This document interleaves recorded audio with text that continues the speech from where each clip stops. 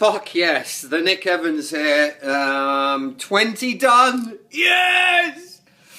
Oh, you hate you hate it. It's on your mind all the time. Yesterday, all week, and you're like, I hate doing 20 miles. Did did it in just under three hours. I felt alright actually. So clearly, the old Welsh funeral buffet of sandwiches, pasties, sausage roll, beef, uh, Victoria sandwich, and carrot cake is clearly a winner of which I ate loads yesterday. So uh, it's sunny, the spring's here, it's not freezing cold. Uh, I have my bits intact and I felt strong uh, and I'm ready for the marathon now. So I know I can do it.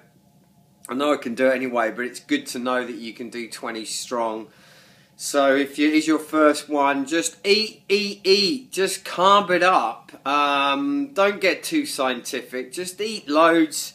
Drink plenty in the morning of Stella and smoke loads of cigarettes, drink Diet Coke, and uh, drop a couple of Viagra and watch uh, lots of hardcore porn until five in the morning, and you'll be absolutely fine. So.